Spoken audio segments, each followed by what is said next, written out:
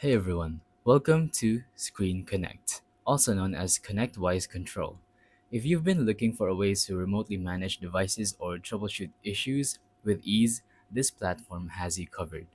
In this tutorial, we will walk through the key features, starting with the Access section and moving on to Admin, and wrapping up with some pro tips.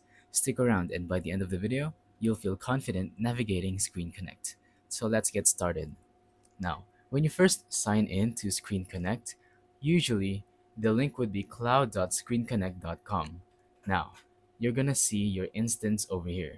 This is your account, so you're just gonna want to tap on this blue link right here, and it's going to take you to the main Screen Connect section or the Screen Connect website. As you can see on this side, there are two buttons, Access and Admin. Let's start with the Access section. This is where you can manage machines and establish remote connections. When you log in, you'll notice several buttons and features. So, this blue button, the Build button, is at the top of the page. This is one of the most important tools in Screen Connect. So, what does it do? The Build button allows you to create installers for your machines you want to connect to. Think of it like setting up a gateway.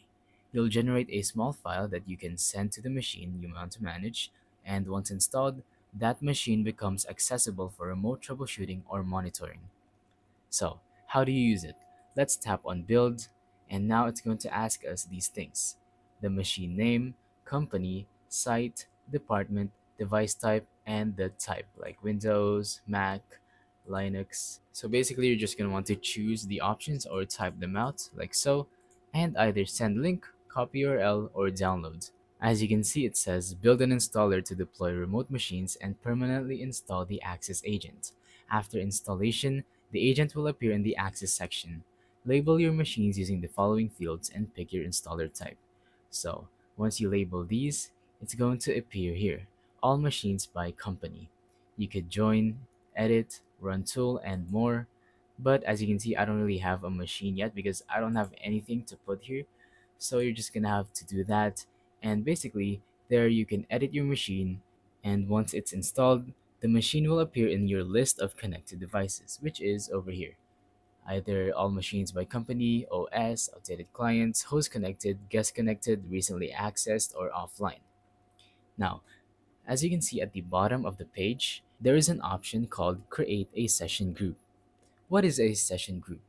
These are organizational tools that let you group machines together for example, you can create separate groups for personal devices, work machines, devices by clients or departments. So how do you create one? Well, it's simple. Just simply tap on this and basically type in a name and the session filter. You could even add subgroup expressions, but once we tap on create, as you can see, this is a session group. Now you can drag your machines into here and basically sort them out. So the whole point of a session group is to sort things out. These are all session groups, as you can see, where you can sort out your machines. This feature is super helpful for keeping your workspace clean and organized, especially if you're managing a large number of devices. Now on to section 2, which is right here, Admin. This is where you'll find tools to customize your Screen Connect and manage account level settings. Let's break it down button by button. Overview. The Overview tab gives you a bird's eye view of your account. Here you can view the status check, security settings, and your database plan. For security settings, you have internal users, revoked access. Basically, everything in your overview is just the statistics of your account right now. Under extensions, these are add-ons or plugins that expand Screen Connect's functionality. What can you do here? Well, you can browse the extension library over here. As you can see, there are already installed extensions automatically you could even tap on Browse Extension Marketplace where you can get these tools to help you do things, do different things. For example, Advanced Configuration Editor, Cloud Authentication, in-application help, and way more under the Marketplace. You could even check for updates so that you could have your extensions up to date. If you're looking for specific features like integration with a help desk system, this is where to find it. Let's tap on security. Based on its name, it's critical for protecting your account and client data. The key features are setting up multi-factor authentication or MFA for extra security and managing user roles and permissions to ensure team members only have access to what they need. As you can see, there's roles and you could even revoke access to other people. For mail, this is where you can configure email notifications. For example, you can set up alerts to notify you when a session starts or when a session ends. And you could even tap on edit mail configuration. And now under audit, this is your activity log. Tap on query audit log and there you go, it's right here. This is all of the activity that has been happening around your Screen Connect. Under advanced, this gives you a granular control over your account. You have quick settings, other settings, bitmask settings, view sound and messages, essentials, all these different things where you can tap on them and I'm pretty sure they have this help section where you can figure out what these buttons do.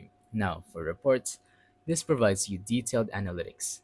As you can see, there you go. You can run, edit, delete, or clone your reports, or you could even create your own reports. You can generate reports on session duration, user activity, and more.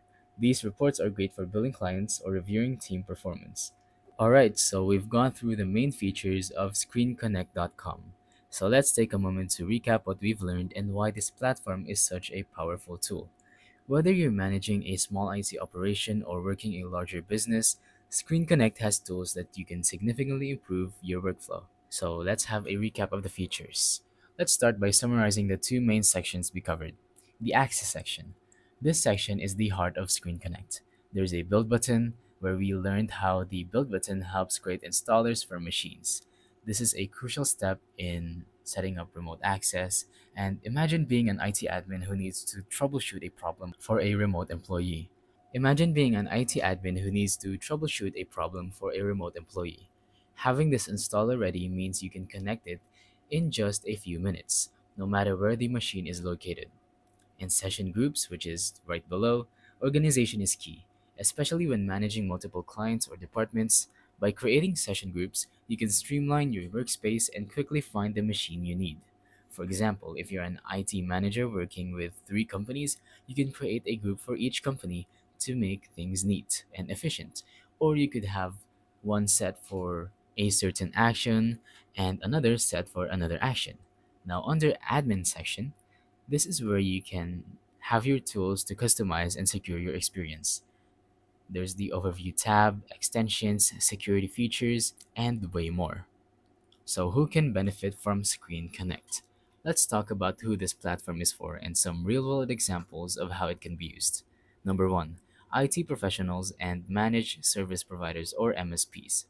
If you're an IT professional or work for a managed service provider, Screen Connect is basically your best friend. Imagine getting called from a client who says their computer is acting up. Instead of driving out to their location, you can send them the installer, connect remotely, and fix the issue in minutes. For MSPs, managing hundreds of devices tools, managing hundreds of devices Tools like session groups and reports make it easy to track everything. Number two, businesses with remote employees. With remote work being the norm, businesses need reliable ways to support employees no matter where they are. If someone has trouble setting up a VPN, you can quickly connect it to them and configure it for them. Or if a team member's computer is running slow, you can run diagnostics remotely without disrupting their workflow. Number three, freelancers or consultants. Even if you're a one person operation, Screen Connect can help you look more professional. For example, you could offer remote tech support as a service and use the reports feature to provide clients with detailed session summaries. And additional tips for using Screen Connect effectively stay organized with naming conventions, leverage reports for insights, train your team, and test before deploying. So, why should you choose Screen Connect? It's easy to use, there's scalability, and there's security. And final thoughts before we wrap it up I want to emphasize how much value Screen Connect brings to the table. It's not just a tool for remote access, it's a complete solution for managing devices, supporting clients, and improving your overall efficiency. If you're thinking about using Screen Connect, my advice is to start small. Set it up for a few machines, explore the features, and gradually expand as you get more comfortable. So that's pretty much it for Screen Connect. Thank you for watching.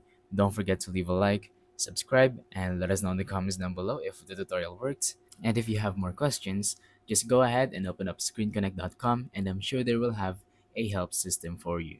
Thank you and goodbye.